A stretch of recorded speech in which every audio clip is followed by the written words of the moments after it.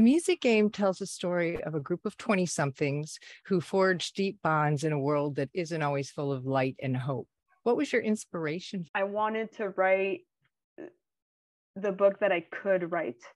So, you know, it, it was the thing that I felt I had the most authority to write about. And it was actually um, kind of a initially difficult, but eventually very motivating to write about something that I wasn't necessarily seeing a lot in the in books that I had read. So to, to just remind myself, and I, I think the more you read, the more that becomes clear too, that everything can be literature. And so, for example, like not having read that many books that are set in Ottawa, which is my hometown uh, you know, so just saying like, well, Ottawa is interesting and I know it by heart, uh, and just to kind of ground some of my characters in streets that were very familiar to me, or also to have some of them working dead end jobs. I've worked a lot of dead end jobs, so I kind of try to um, uh, kind of like pick and choose in almost like a um, uh, really like a composite, uh, you know, let's say I would imagine a character in a certain situation, and then I would tell myself, like, maybe I can give this character my childhood friend's parents, but she'll also have this other person's physical appearance. The structure of this book is really interesting. It frequently shifts between characters, perspectives, places, and time periods in a non chronological order, and yet it all makes sense. From the beginning, did you have a sense of the order in which you wanted to present this content, or did your plans shift throughout the writing and editorial process?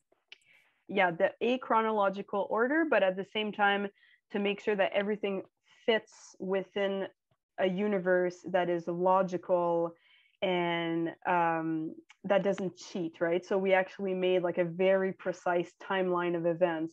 Actually, I think that's something that is one of the things that I credit, um, you know, my French publisher Le Quartanier the most with is something that we worked on.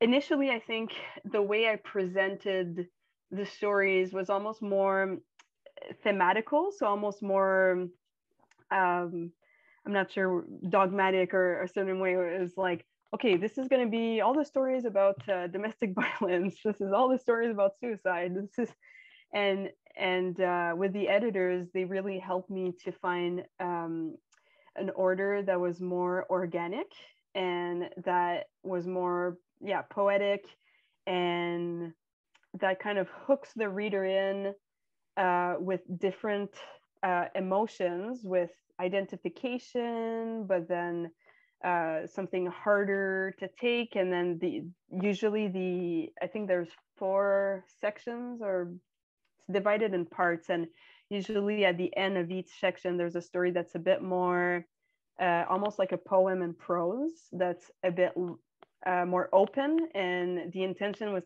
kind of to let the reader breathe a little your book has been recently translated into English, as Irene mentioned. And so we're kind of interested in the process. How involved were you in overseeing the translation process? Did you worry that any of your beautiful work would be lost in translation? So I actually got very involved in the translation process just because I, I could and that I wanted it to be as good as possible. And obviously, the English um, market is you know it's the biggest uh, one and it, it's uh, you know not only in canada but in the the united states i, I feel like uh, the content of my book uh, is relevant to uh, that readership as well.